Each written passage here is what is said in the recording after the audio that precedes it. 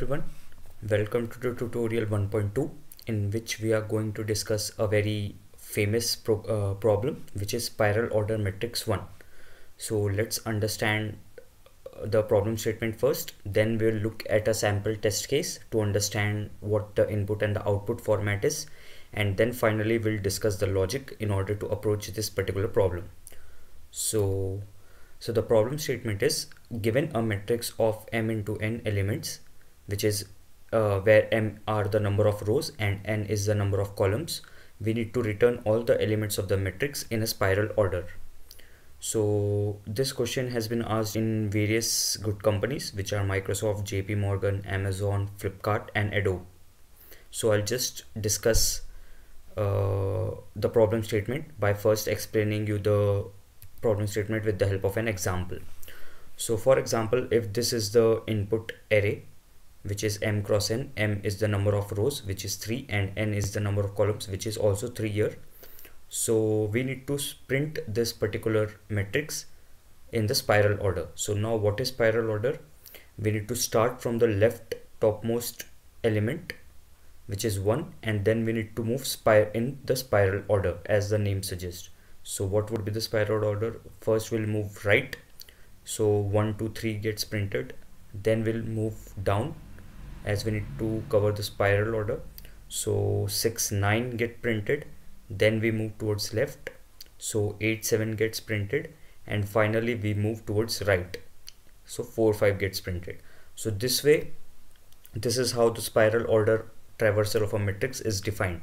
First we move right then down then left then we continue so and and so forth as soon as uh, until the array elements gets traversed completely sorry the matrix elements gets traversed completely.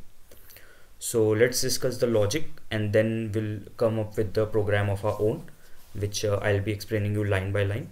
Uh, so let's first understand the logic. So the logic is we need to maintain a direction variable to maintain the direction to move in. So as you know that sometimes we need to move in right we sometimes move down sometimes left and sometimes up so that's why we need a direction variable in order to understand which is the next direction we should be moving in. So as the problem suggests we need to start from the top leftmost corner. So starting from the topmost left corner the sequence of directions should be right down left top. Why? Right down left top. Again right down left top. And so on and so forth we need to traverse the entire matrix in the spiral order so this is the sequence of direction that we should follow. First right then down then left and then up and continue moving in this way. So keep moving in the above order each time decrementing or incrementing the current row column index. So this particular third point is the most crucial point here. Each time we move in the particular direction we need to increment or decrement the row index or column index accordingly so how so? This uh, i'll be covering in the programming section. To the live code for this program. So let's first declare the header file. It's stdc++.h using name space std okay. So let's first write the main method in which uh, we need to take uh, we need to take input matrix from the user. So int main. Let's return 0 here.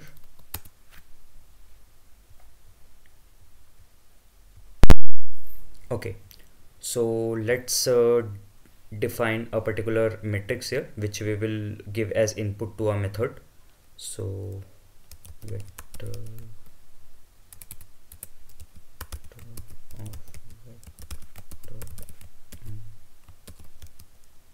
v let's take 1 to 9 as input as discussed in the previous example. So let's refer to example. First row is 1 2 3 second is 4 5 6 third is 7 8 9 so 1 2 3 4 5 6 7 8 9 okay. So this is the input matrix that we are going to uh, call a method with. So let's make a method and call it. So let's make it spiral order. Let's send a matrix. Okay. So let's define this particular method of our own spiral so it will take vector of vector of int as uh, the as the input parameter. Now let's uh, first take into consideration the output matrix that we are going to print. As we are required to print a list of integer in the form of vector in the spiral order. Okay so this would be the output array uh, sorry output vector. Let's first calculate the number of rows which would be m dot size here. Let's define it as a and matrix as a okay? So a dot size this will give us the number of rows. Similarly a of 0 dot size will give us the number of columns. So we have taken the number of rows and number of columns as uh, n and m respectively. Now let's define some variables which I'll be explaining you which represents what in as we move ahead in this lecture. So t equals to 0 b equals to n minus 1 okay so what I have done I've taken L to represent left direction R to represent the right direction T to represent the top direction and B to denote the bottom direction. So as discussed that we need to take care of four corners here left right top bottom. Okay so these four variables are representing left right top bottom respectively. Now let's uh, define a character dir to represent the direction we need to move in. So we'll initialize it with r as initially we need to move in the right direction. Okay so that's why this is as r. Why l equals to 0 because the topmost row which is uh, sorry the topmost uh, sorry the leftmost column. That's why l equals to 0 why m minus 1 because the rightmost column that's why m minus 1 y t equals to 0 because the topmost row which is t equals to 0 and y b equals to n minus 1 because the last row so n minus 1 so this is how we have uh, initialized our variables. Now let's write the most important logic so till when do we need to traverse the uh, complete matrix until and unless L is less than or equals to R and T is less than or equals to B. So what does this refer to? Uh, we need to keep traversing until we have traversed the complete matrix. Okay. So as we are moving in left as well as top or bottom or right, all these four directions. So the terminating condition would be while L is less than or equals to R and and top is less than or equals to bottom. Why so? Because until these four turn out to be at the same point we need to keep traversing the matrix now let's write the logic then I'll explain you why it is working so so if direction is right so if we are moving in right what we need to do so when we are traversing in the right direction okay so we need to traverse from the leftmost column to the rightmost column okay? So hence our loop would be for int i equals to l i is less than or equals to r because we need to move to the rightmost column and each time we'll move right so we'll increment the column number. And what we need to do when we are traversing in this direction we just need to push this particular element onto the vector okay because we need to traverse in this direction and output should be in this way. 1 2 3 so 1 2 3 so that's why just v dot push back just put this element as soon as we traverse it. So what this particular element would be? As we are traversing a particular row which is the tth row as we are starting from the top so a t and i. So here t represents the rowth number. So we are traversing from the tth like the topmost row and i represents the column that we are visiting. So column is 0 1 2 here and the row is 1 okay? So this is how we have written the uh, this particular uh, part to move to the right direction. Now let's discuss what should happen next. So when we have traversed the incomplete right direction what we need to do? We need to traverse left we need to traverse down okay? So how to represent down? We'll just set we'll just set a, a variable direction variable to what? To down okay?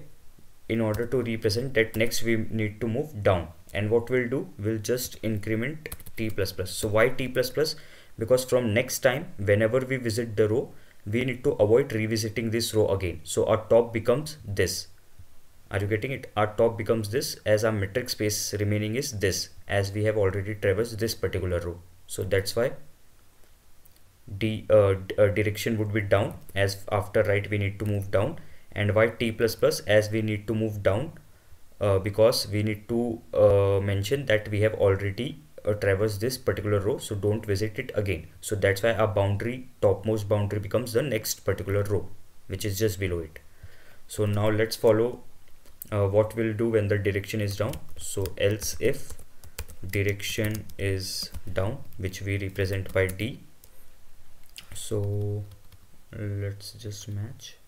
Okay so this will come just outside the for loop. Okay. Now let's indent it. Okay. So else if this will come as the end of while loop this. Okay. So else if the direction is down so when we are moving towards down from where to where we do do we need to traverse? From the topmost row to the bottommost row. So hence the loop would be for int i equals to t i is less than or equals to b i what? I plus plus. Because we are moving down. So we need to increment the row number from this to this to this. Okay. So we are moving down. So we increment the row number at every instance. So what will come here? So while we are moving down we just need to push this element as done here. So v dot push back. What we dot push back? A of what? So let's understand what should come here. As we are moving down so the column remains same but the row keeps changing. So the row keeps changing that's why a of i and the column remains the same so which is the column? It is the rightmost column. Okay? So that's why r will come here. So we have done this particular part. And just as we know that after moving down we need to traverse left. So let's let's uh, uh, initialize our direction to left as next uh, direction would be the left direction. So this is what we have done. And when we have already traversed this particular column so we need to move our rightmost boundary towards left towards this particular column 258 because we have traversed this column. So how do we do it? By just decrementing sorry by just decrementing r r minus minus. So r minus minus means we have moved towards left. We have decremented the value of r in order to indicate that we have already traversed the rightmost column and now the uh, the column just before it becomes the rightmost column the rightmost untraversed column okay? So that's why r minus minus. So let's just as we have done it for uh, right and then bottom sorry right and then down so let's do it for left and up. So I'll just copy and paste this particular part and will modify it accordingly. So let's follow else if and else. If okay. So what's next? When we have came down so we need to move in the left direction. So else if the direction is left. So what do, we need to do when the direction is left? When direction is left we need to traverse from the rightmost col uh, from the rightmost column to the leftmost column. Okay. So we need to traverse so when we are moving left we need to traverse from the rightmost column. So where are we? Here. We need to traverse from the rightmost column. So greater than or equals to L. We need to move towards the leftmost column and each time we will decrement the column because we are moving towards left. So each time we are decrementing the column number here. Okay? So this is what we have done. And finally we need to push back what? As we are traversing in a single row but the column keeps changing. So row is the bottommost row. So b here and i here. Okay? So this is uh, the code for moving left. And after moving left what we need to do? We need to move up. Okay? So that's why we update the direction to up. And when we have traversed this the bottommost row we need to uh, change the bottom to the row above it okay? So that's why b minus minus okay? So just have a look at it on your own once again and you will understand the logic here. And finally for moving towards up when the direction is up we'll just use u here. When the direction is up we need to traverse from the bottommost row to the uh, sorry from the bottommost row to the topmost row so that's why from i equals to b to i is greater than or equals to t i minus minus. Because we are moving up so we are decrementing the row number. And as it is a row number so i and left as we are traversing the leftmost column here. And finally after moving up we need to again continue this process. So after moving up we need to move right. So let's reinitialize it the direction variable after moving up we need to move right so let's set it right and when are we when we are moving up so we need to make sure that we don't uh, make use of this column once again okay so that's why L plus plus. Why L plus plus? Because we are setting this particular column, the one towards right of it as the next column for the leftmost boundary. So this is the thing and if none of these cases match, so else part, else break. So if none of the cases match, just break the code here. Now let's just print out the vector in order to check what's happening so for int i equals to 0 i is less than n i plus plus for okay. So let's ignore this part. As we need to print the final value in the v vector. Okay. So the number of elements in v would be n into m. For int i equals to 0 i is less than n into m i plus plus.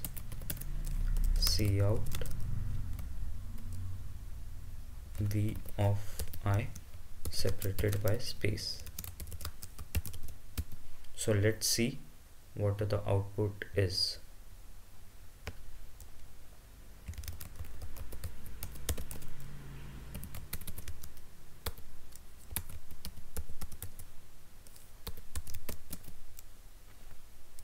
Okay compiled successfully. Let's run it. Okay. So let me remove this part so as you can see 1 2 3 6 9 6 9 8 7 4 5 1 2 3 6 9 8 7 4 5 so this is how we have completed the code. So you guys could refer to this to understand it briefly. Thanks for watching